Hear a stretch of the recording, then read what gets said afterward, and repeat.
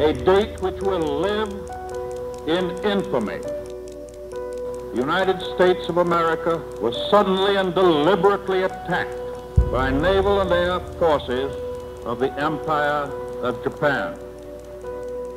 120,000 persons of Japanese ancestry were transported to an assembly center where they lived for months, eventually being transferred to one of 10 relocation centers.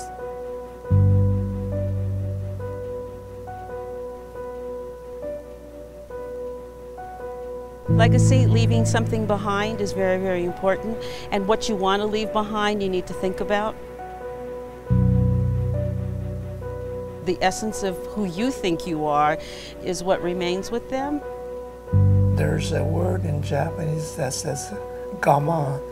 It means to make the best of the situation we're in. And we did that.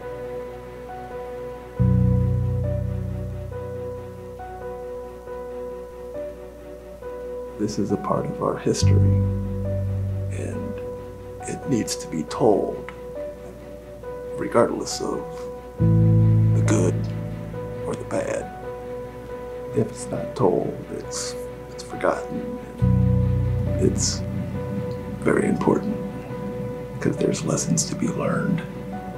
That what happened to my grandmother shouldn't happen to anyone ever again.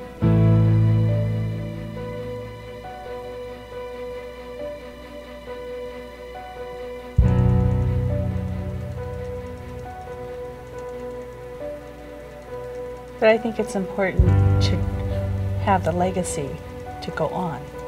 Otherwise, it's not going to be taught. I feel like I'm just naive to this whole situation. I think it's maybe it's partly because you haven't really talked about it a lot, but um, it's maybe it's your way of being a parent of trying to protect me, you know, from, from all this. And even though I may not know a lot of this period in your life, um, I'm very appreciative for all the sacrifices that you and your um, siblings have had to make.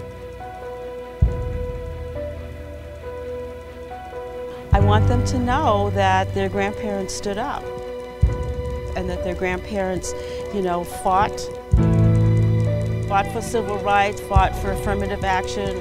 But it wasn't just fighting against things.